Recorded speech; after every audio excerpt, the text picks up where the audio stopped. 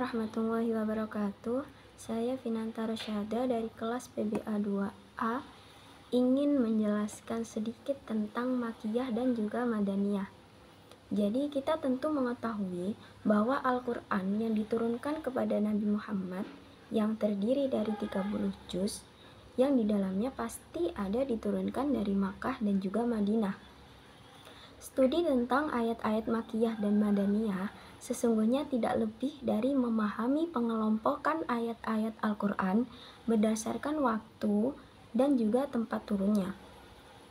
Pada periode Mekah memakan waktu 12 tahun, 15 bulan, dan 13 hari, yakni sejak tanggal 17 Ramadan tahun ke-41 hingga awal Rabiul Awal tahun ke-54 dari kelahiran Nabi Muhammad. Sedangkan periode Madinah sendiri menghabiskan waktu 9 tahun, 9 bulan, dan 9 hari, yakni sejak awal Rabiul Awal tahun 54 hingga tanggal 9 Dzulhijjah tahun ke-63 dari kelahiran Nabi. Periode tersebut disebut periode Makiyah dan juga Madaniyah. Untuk itu, kita perlu mempelajari lebih dalam terkait dengan surat Makiyah dan Madaniyah agar kita lebih paham dan mengerti mana ayat yang tergabung dalam Makiyah dan juga Madaniyah.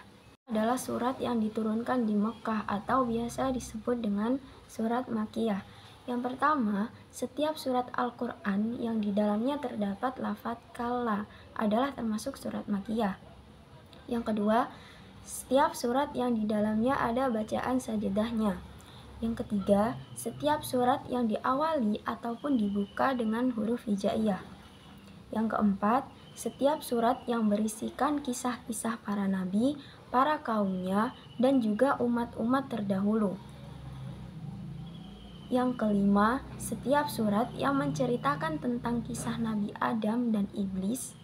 Yang keenam, yang di dalamnya terdapat keterangan adat istiadat orang kafir, orang musyrik, orang yang suka mencuri, merampok, membunuh, mengubur hidup-hidup anak perempuan, dan lain sebagainya.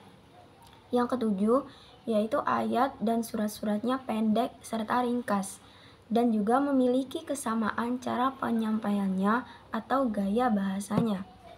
Yang kedelapan, yaitu surat-surat yang berisi ajaran tentang akidah seperti, tauhid, menyembah Allah, risalah Nabi Muhammad, hari akhir, dan juga mujadalah kaum musyrikin dengan dalil-dalil akal dan ayat-ayat kauniyah. Yang terakhir yaitu surat-surat yang berisi seruan untuk berpegang pada akhlak luhur dan juga berbuat baik yaitu surat-surat yang diturunkan di Madinah atau biasa disebut dengan surat Madaniyah. Yang pertama yaitu berisi nida ya ayyuhalladzina amanu yang berarti wahai orang-orang yang beriman. Yang kedua, terdapat hukum-hukum faraid, hudud, kisos, dan juga jihad di dalamnya. Yang ketiga, umumnya memiliki surat yang panjang yang setiap suratnya terdapat dialog dengan ahli kitab. Yang keempat, berisi keterangan tentang karakter orang-orang munafik kecuali dalam Quran surat Al-Ankabut, An-Nisa, Al-Anfal, At-Taubah, Al-Ahzab, Al-Fat, Al-Hadid, Al-Munafikun, dan At-Tahrim. Yang kelima, berisi hukum muamalah seperti jual beli, sewa menyewa, gadai, utang piutang, dan lain sebagainya. Yang keenam yaitu berisi hukum kemasyarakatan, kenegaraan, seperti permusyawaratan, kedisiplinan, kepemimpinan, pendidikan, pergaulan, dan lain sebagainya. Yang terakhir yaitu berisi dakwah kepada pemeluk Yahudi dan Nasrani, seperti contoh pada Quran Surat Ali Imran, Al-Fat, Al-Baqarah, Al-Hujurat, dan sebagainya. Yaitu ada macam-macam surat Makiyah dan Madaniyah. Para ulama sepakat bahwa jumlah surat-surat Madaniyah ada 20 surat dan yang menjadi perselisihan ada 12 surat dan selainnya adalah termasuk surat-surat Makiyah.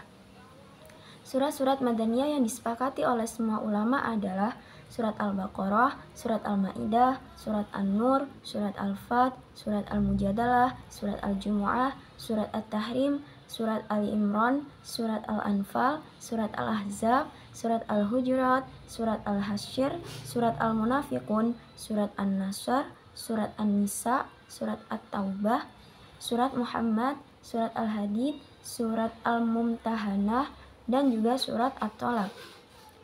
Nah, untuk surat-surat yang menjadi perselisihan di antaranya adalah surat Al-Fatihah, surat As-Shaf, surat Ar-Rad, surat At-Taghabun, surat Ar-Rahman, surat Al-Mutaffifin, surat Al-Qadr, surat Al-Bayyinah, surat Al-Zalzalah, surat Al-Ikhlas, surat Al-Falaq, dan juga surat An-Nas. Berdasarkan hal ini, sisa dari surat-surat Al-Quran lainnya terhitung menjadi surat-surat makiyah yang jumlahnya ada 82 surat. Jika ayat-ayat permulaannya turun di Mekah dan ayat pertengahannya atau penghujungnya turun di Madinah, maka dalam kondisi ini, untuk mengetahui makiyah dan madaniyahnya, surat adalah harus melihat jumlah yang terbanyak dari ayat-ayat makiyah atau madaniyah tersebut. Ada manfaat mempelajari makiyah dan madaniyah.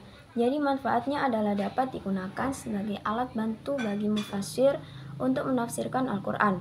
Pengetahuan akan tempat turun ayat dapat membantu mufasir untuk menemukan penafsiran yang benar baik bagi yang menggunakan metode atau kaidah umumnya lafat atau kaidah khususnya sebab. Dari sana, mufasir juga dapat membedakan mana ayat yang nasih dan juga mansuh maupun ayat yang tahsis. Manfaat yang diperoleh dari makiyah dan madaniyah adalah dapat mendalami gaya bahasa Al-Quran dan mengaplikasikannya sebagai metode berdakwah. Misalnya dapat dilihat pada makiyah bahwa bahasa yang digunakan cenderung pendek-pendek dan juga berisi peringatan. Begitupun sebaliknya dengan madaniyah sendiri. Cukup sekian yang bisa saya sampaikan, kurang lebihnya saya mohon maaf. Terima kasih